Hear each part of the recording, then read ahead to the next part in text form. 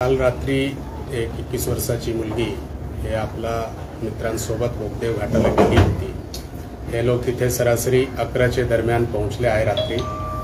आणि त्यानंतर तिथे हे लोक बसून गप्पा वगैरे मारत होते. ते झाल्यानंतर त्या ठिकाणी तीन अनोलखी लोक आलेले आहे. आणि त्यांनी जे आहे या मुलगाला मारहाण केली आहे आणि मुलगीवर अतिप्रसंग केलेले आहे. या घटना झाल्यानंतर मुलाने आपले नातेवाईक आहे त्यांना माहिती दिली. आणि हे लोक जे आहे ते नंतर दीनानाथ मंगेशकर हॉस्पिटल येथे गेले होते. तिथे हे मेडिको लिगल केस असल्यामुळे त्यांना ससूनमध्ये पाठविण्यात आले. आणि ससूनमधून आम्हाला जे पोलिसला सरासरी पाच वाजता सकाळी हे माहिती मिळालेली आहे.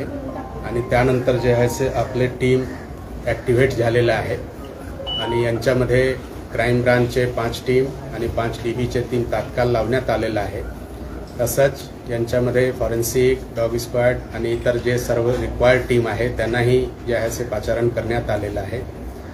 आणि यांच्यामध्ये आपली वेगळे वेगळे टीम जे आहे लोकांचे विचारपूस करण्याचं काम चालू कर केलेले आहे. आता प्राथमिक हे माहिती आहे आणि यांच्यामध्ये जसेही जे आहे काही प्रोग्रेस होतील त्यानंतर आपल्यासे माहिती जे आहे ते शेअर करण्यात येईल.